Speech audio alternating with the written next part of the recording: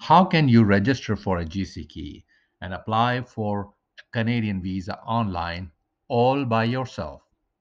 Hello, everyone. I am Amir Ismail, a licensed immigration advisor based in Toronto, Canada.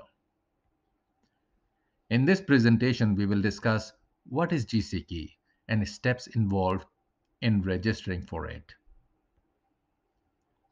So what is GCKey?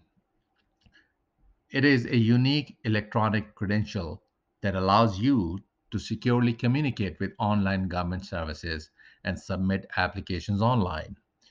If you're submitting your Canadian immigration or visa application online, you will need to create a GCKey. Government of Canada will issue you credentials that include username and passwords, allowing you to access government online services. This includes submission of your visa application. So let's discuss step one. First and foremost, you need to sign in if you have already created your GC key or sign up if you are creating it for the first time. To register or sign up for a GC key, you need to go to the IRCC official website www.cic.gc.ca and choose sign in with GCKey button out of the options provided on the page.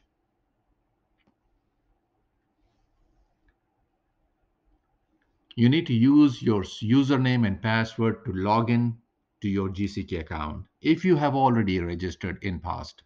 However, if you are registering as a new applicant, you need to click on sign up under simple secure access on the right side of the screen.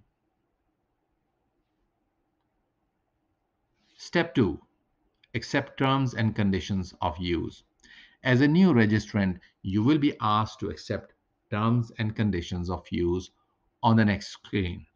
You need to click on I accept to proceed. Step 3. Username and password. The next step is to create your username and a strong password. Your password needs to be at least 8 characters. Needless to say, it needs to be strong and hard to guess. It must contain at least one uppercase letter, one lowercase letter, and one number, and cannot contain more than three consecutive characters of the username. Also, password should be stored securely. Please do not share with anyone. Step 4. Create recovery questions. Next, you need to create recovery questions, answers, and clues.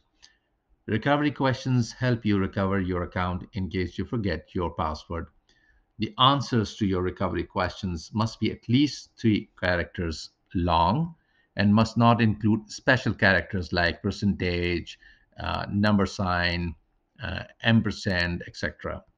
However, these can contain letters, numbers, and the punctuation marks such as apostrophe, comma, hyphen, period, question marks. Needless to say, you need to keep answers to your questions safe too. Step 5 Optional Account Recovery.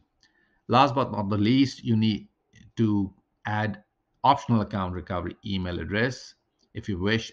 This will help you in recovering your username and password by email. This step can be accomplished at a later stage too.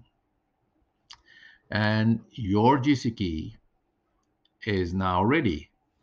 Uh, your GCKey can be now used to access your account and start applying for various Canadian visas online.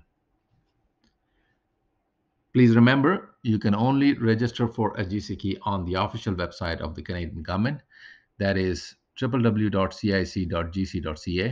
Do not register at any other website as there are several scamming websites around being promoted by non-Canadian local agents found in your local market. Should you like to consult with us regarding your Canadian visa application or check your eligibility, please feel free to get in touch with us in Toronto.